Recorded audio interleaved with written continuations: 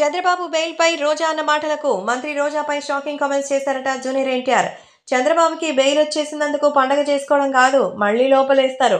చంద్రబాబు ఒక రిమాండ్ ఖైదీగానే ఉన్నారు. బయటికి వెళ్ళాల్సిందే.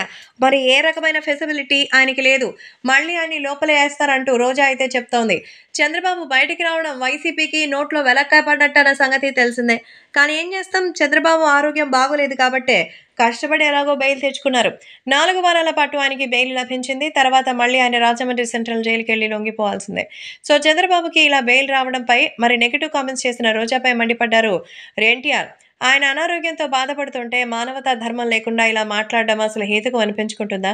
మీ రాజకీయాల కోసం కనీసం మానవత్వాన్ని కూడా ఉంచుకోవడం లేదు. మరి కనీసం ఒక సాటి వ్యక్తి పట్ల సానుభూతి చూపించలేని వీళ్ళు మరి రాజకీయ నాయకులు అలాగే శాసనసభ్యులు అలాగే అమాత్యులు అంటే ఆశ్చర్యంగా ఉందంటూ ఎన్టీఆర్ చాలా మరి భారీగానే సెటైర్ వేశారు నిజమే కదా?